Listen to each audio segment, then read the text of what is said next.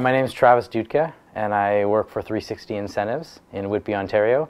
I'm the talent manager for, uh, for the company, and we help facilitate incentive payments for major manufacturers with our SaaS-based technology. I think the goal of any company should be to hire the best people from the beginning because when you hire, or, or, the right people, when you hire the right people, you create the foundation for building unlimited possibilities with your, with your team and your talent.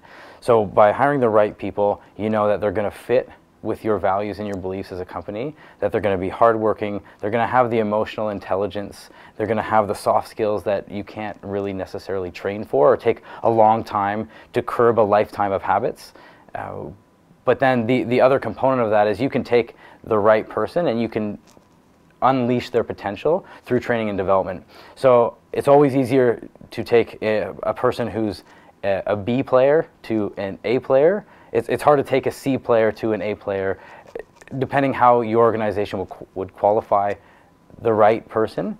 But if, if you're solely wanting to just get bums in the seat or fill a, fill a job rec just for sake of time, you're going to have a lot harder time in the future, in my opinion, of taking someone who's not the right fit, whether it's culturally or with their emotional intelligence or the things that your organization values, and try to transform them. I'd equate it almost to a marriage. A lot of, if, if you go into a marriage thinking that you're going to change your spouse because they're not how you want them now, but give it a few years and you'll turn them into your dream spouse, you're kind of off the mark because you don't change people. You just will probably become annoyed and frustrated with them.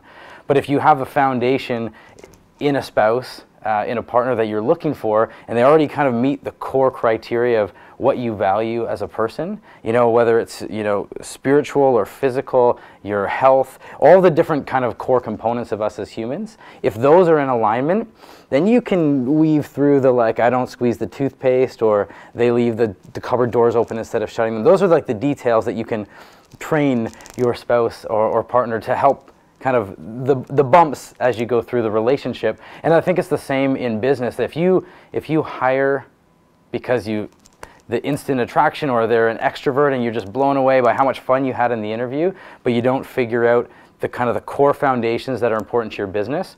Because you can always train and, and skill up, which I think you should do because it will take your organization to the next level. But without the right person, how you define that, you're already starting two steps behind.